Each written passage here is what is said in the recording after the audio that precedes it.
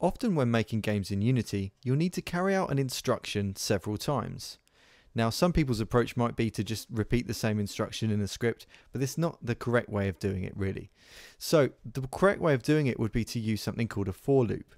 And that's simply a way of repeating a set of instructions until a certain criteria is met. So, in this example scene, I've simply got an empty object that I'm going to use as a holder for the script, and it's also going to act as a location for us to spawn several objects a certain distance apart and we're going to use the for loop to specify how far apart each of those is going to be made. So if I go ahead and create a new JavaScript, and I'm going to call this, uh, let's call it looper, and we'll go to edit. Okay, so we don't want to put our for loop into update because effectively um, we just want to carry out this set of instructions once. In this example, what we're going to be doing uh, is to create uh, a set of things at the start of the game. So I'm just going to use start for this example. Okay, so into start, what I'm going to do first of all is to create the kind of basics uh, of my for loop. So usually you'll use uh, an integer variable which we'll call i as example and we need to set that to a default value of 0. Then we're going to establish the for loop. So we'll say for i equals 0. So the first parameter there is the um, start value of the integer. Then what it should be when it's finished. So we're going to say less, less than or equal to 3. And then we're going to say how many to add to that value of i each time this loops round. So we're just going to add 1. So we could either say plus equals 1, but it's quicker just to say i plus plus. Okay, so what this is going to do is going to cycle through and uh, add one to the value of i each time it executes whatever instructions I put in here. So, for example, I could debug.log.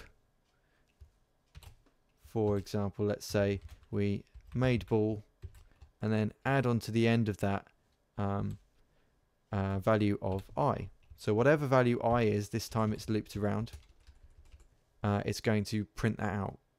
Okay, so if we save that and go back to Unity and apply that to our creator object, when we press play, what you'll see straight away is it says made ball 3. So if I look at my console, you can say it says made ball 0, 1, 2, 3. Okay, so uh, any of these kind of values is counting up until it equals 3. So the first thing is 0, then 1, then 2, then 3.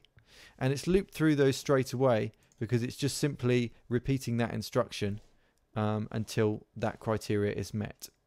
So what can we do with that? Well, we don't just want to debug something. So what we'll do is actually create an object. So if you remember from uh, previous tutorials, instantiate is the way to create an object. So uh, we might say, for example, my prefab, and we'll create a member variable so we can drag and drop that, uh, assign it in a moment and I can tell you now I'm going to use a rigid body object. Um, so you could use a game object if you weren't using uh, rigid bodies. And the crucial thing here is what we want to do is pass in as a position uh, the value of i so that what we're effectively doing is using that for loop not only to repeat instructions but to change the instruction each time it repeats. So what I'm going to do up here is also establish another private variable, i.e. inside the script, which I'll call pos and I'm going to set that as a vector 3.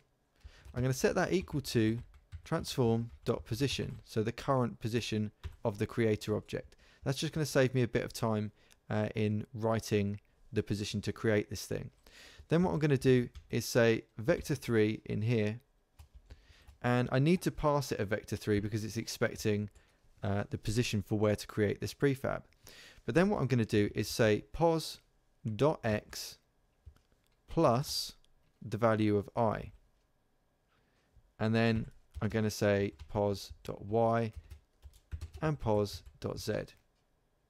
Okay, so that's passed that in, and then I'm going to use the current rotation of the object we're attached to as the rotation to create.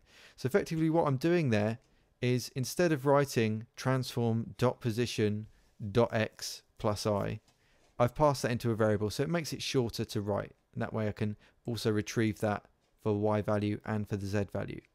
Okay, so each time this passes round, x is going to equal 0 or, or add to it 0, then add to it 1, then add to it 2, and so on until the value of i equals 3.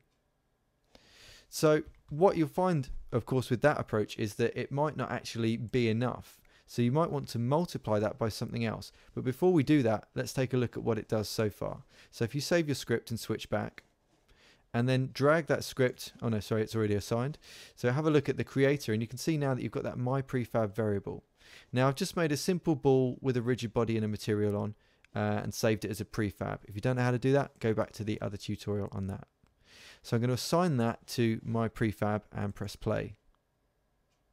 And you can see that because they got created right next to each other, they're effectively overlapping because uh, those prefab objects uh, were a scale of two, so they were overlapping uh, when they're created, so they get forced apart.